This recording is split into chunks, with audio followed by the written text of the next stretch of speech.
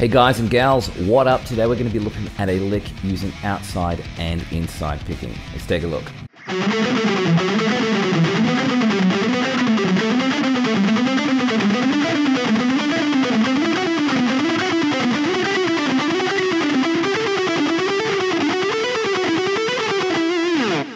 Okay, so the concept of outside picking is that we're going to be going up and around the strings. So if you look at what I'm doing on the fourth string here, I'm playing a downstroke and then I'm up picking the third string. So with that first phrase, I'm playing four, five, seven on the fourth string, and then I'm back picking that four of the third string. And when I reverse that, I'm going to go 7, 5, 4 on the fourth string, and then end on 7 of the fifth.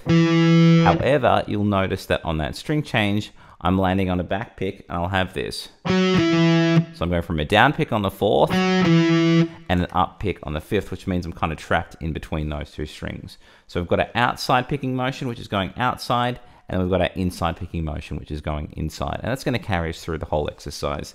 I think it's good to get strong in both areas so that you're kind of really comfortable with alternate picking in any direction. And then if you need to, you can economy pick it. But I think um, sometimes we get trapped um, with our strengths being maybe more outside and more inside. I think this is a good way to sort of strengthen both of those muscles. So this is what we should have thus far. We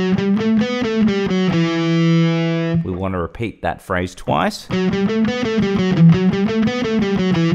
Then I'm just going to bring that up diatonically through the scale. So what I'll do is I'll show you the five notes that I'm working with and then we'll put the pattern to them.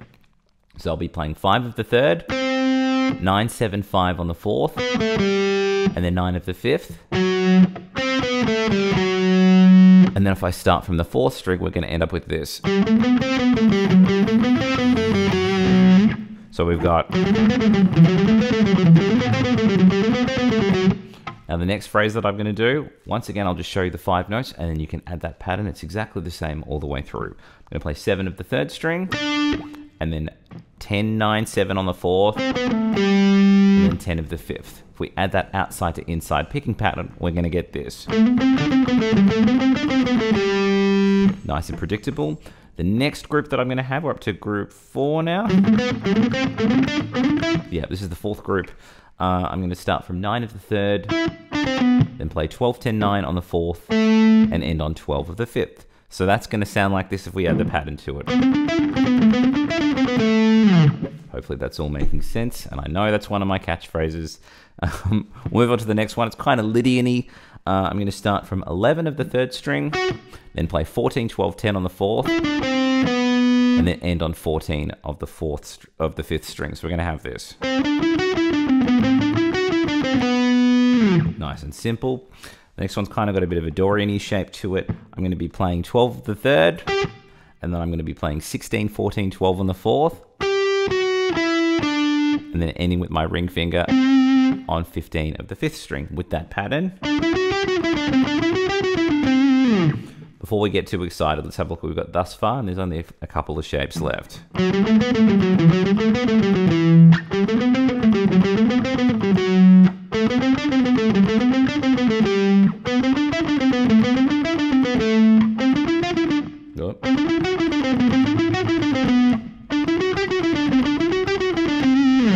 Okay, then we've got two more. Uh, this one's going to be very, very similar to what we had on the third. I'm going to be playing uh, 14 of the third string, 17, 16, 14 on the fourth, and then 17 of the fifth. All together.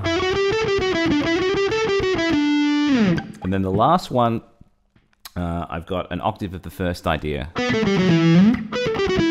I'm playing 16 of the third, then 19, 17, 16 on the fourth, and then 19 of the fifth. So if we add the pattern to that. So if I didn't mention it earlier, it's a relatively generic exercise as far as, you know, melodically speaking, it's quite diatonic and there's nothing too interesting, exotic, or outside note wise. However, we're just drilling this uh, outside to inside picking concept. Let's do it all again at a gentleman's pace and then we'll do it again even slower with some tabs.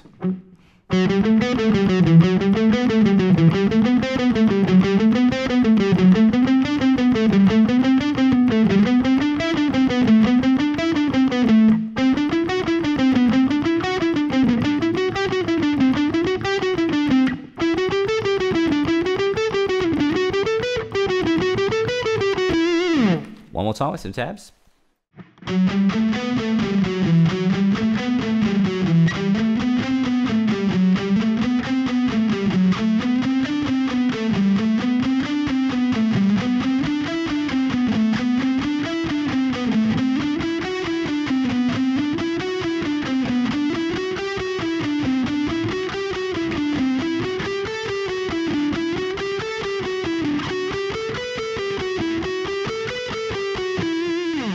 And that was my outside to inside picking lick. Hope you guys enjoyed that. Please like and subscribe if you haven't already done so.